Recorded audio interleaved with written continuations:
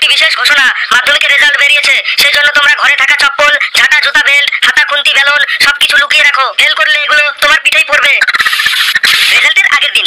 আজ সারাদিন মস্তিতে মন বলেছে কাটাতে, কালকের কথা কালই জানে। ফেল করার পরে। আমি মাধ্যমিকে ফেল করে গেছে আমাকে ক্ষমা করে দাও আমাকে মেরো না প্লিজ আমি সামনের বছর পাস করে যাব আমাকে ক্ষমা করে দাও চুপ কর হারামজাদা, সামনের বছর পাস না করলে বাড়ি দেবো কিরে তোর রেজাল্ট বেরিয়েছে। তোর রেজাল্টের খবর কি? পাস করেছিস না ফেল করেছিস? বল তুই পাস করেছিস না ফেল করেছিস বল। অ্যাকচুয়ালি বাবা অ্যাকচুয়ালি কি? আমাদের স্কুলের স্কুলের কি?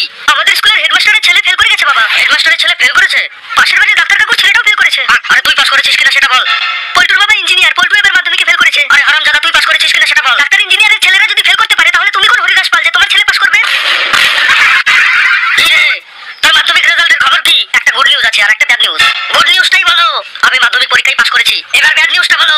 ব্যাড নিউজ হলো এটাই যে গুড নিউজটা মিথ্যা ছিল।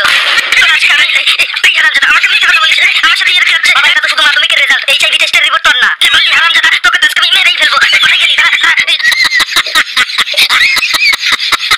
মাধ্যমিকের তো রেজাল্ট দিয়েছে। হ্যাঁ দিয়েছে। পাস করেছিস নাকি? এবারেও ফেল করেছিস। একটা কথা কান খুলে শুনে রাখ ফেল করলে আমাকে আর বাবা বলে ডাকবি না তাহলে তুমিও আমার একটা কথা জেনে রাখো মদনলাল যে তুমি আমার বাবা হওয়ার অধিকার হারিয়ে ফেলেছো কালকে তো পরীক্ষার রেজাল্ট দিবে হিসাব করে দেখি তো পাস করব কিনা ওর সাবজেক্ট পঁচিশ করে পাইলেই তো পাস, তাইলে এবার হিসাব করে দেই পঁচিশ গুণন সাত, তার মানে একশো পঁচাত্তর পাইলে পাস।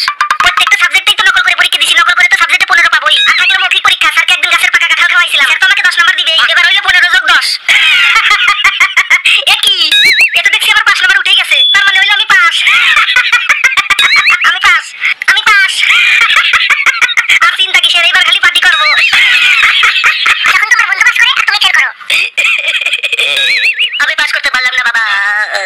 আমি ফেল করেছি তাতে যতটা না কষ্ট হচ্ছে কিন্তু আমার বন্ধু পাস করেছে তার জন্য আরও বেশি কষ্ট হচ্ছে।